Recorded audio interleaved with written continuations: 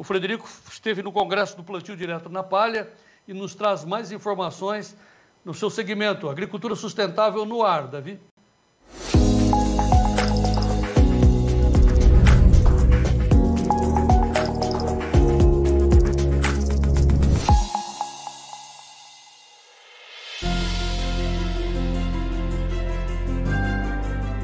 Amigos do programa Tempo e Dinheiro, do site Notícias Agrícolas, o quadro Agricultura Sustentável está aqui em Foz do Iguaçu, no interior do Paraná, acompanhando o 18º Encontro Nacional do Plantio Direto na Palha. Aqui comigo hoje, Almir Rebelo, agricultor e também membro né, do Clube Amigos da Terra, lá de Tupã-Seretã, no interior do Rio Grande do Sul. Almir, a agricultura sustentável caminha a passos largos né, para oferecer uma nova ferramenta, uma nova perspectiva para o sistema plantio direto? Como é que vocês do Clube dos Amigos da Terra estão trabalhando para difundir cada vez mais essas ferramentas importantes para o agronegócio? Esse assunto da agricultura sustentável ele é um dos principais assuntos da, da atualidade e do futuro. E nós, que temos a experiência do plantio direto já de muitos anos, da biotecnologia, né? então a gente é, estuda com uma certa profundidade esse assunto para descobrir quais são os constituintes, os fatores que que concretizam a sustentabilidade. Então a gente trabalha muito com as plantas e de olho no seu percentual de sequestro de carbono, porque para nós o grande esteio da sustentabilidade é o sequestro de carbono.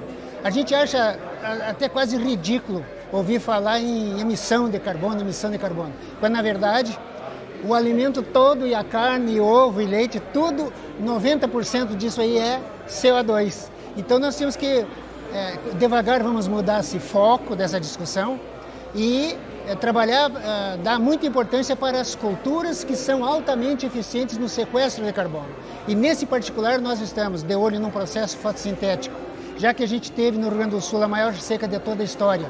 E quando teve essa maior seca, não teve água para realizar, para viabilizar o processo fotossintético. Não sequestrou carbono, não transformou carbono em soja, por isso que não teve.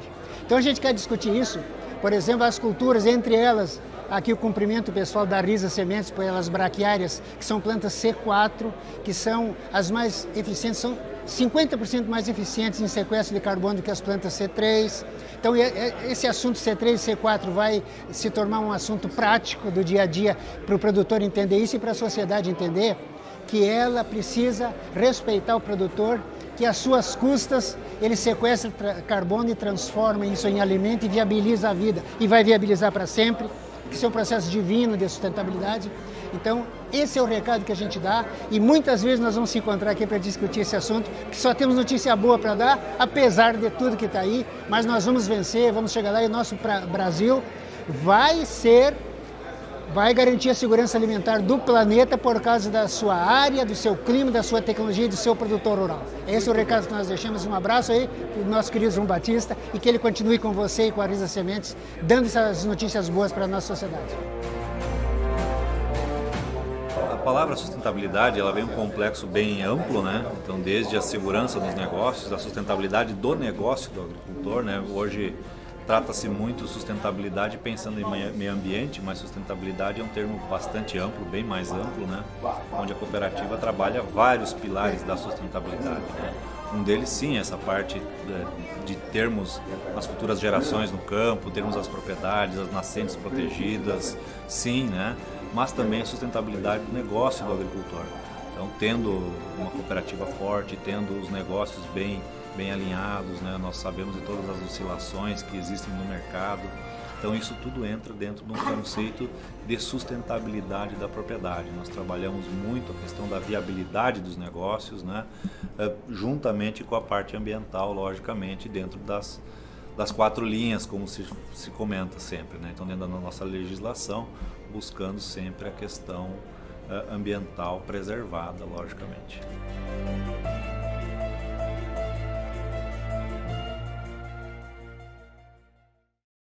Uh, o pessoal que esteve lá no, no, no, no, Congresso, lá em Foz do Iguaçu, aproveitou, subiu até a cooperativa LAR, que é uma das maiores e mais modernas cooperativas do nosso país, cooperativa de grãos. E é bom que a gente acentue isso, né? É, que nós estamos tendo uma grande revolução na agricultura brasileira, no, nesse quesito fundamental que é ger, ger, gerar alimentos para o mundo todo no Brasil. O Brasil está tendo uma revolução no seu interior que pouca gente está se dando conta. Por isso que eu peço com muita força o apoio de vocês para a gente fazer com que essas imagens que o Frederico trouxe lá do Congresso da Palha, plantio direto na palha, cheguem no, na, na, na, na população urbana. Olha a revolução que nós estamos fazendo. Veja como nós temos brasileiros né, que são rompedores, são corajosos, são patriotas. Né? O Almir Rebelo, lá de Tupanciretã, presidente dos Amigos da Terra, esse é um cara que luta pelo país assim, incessantemente, ele pega.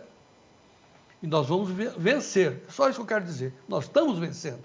Graças aos produtores rurais tecnificados, cabeça no lugar, que fazem a agricultura com palha coberta, entre outros quesitos, que a, a nossa agricultura moderna. Parabéns a todos que estão envolvidos nessa agricultura sustentável. Parabéns ao Frederico Olive.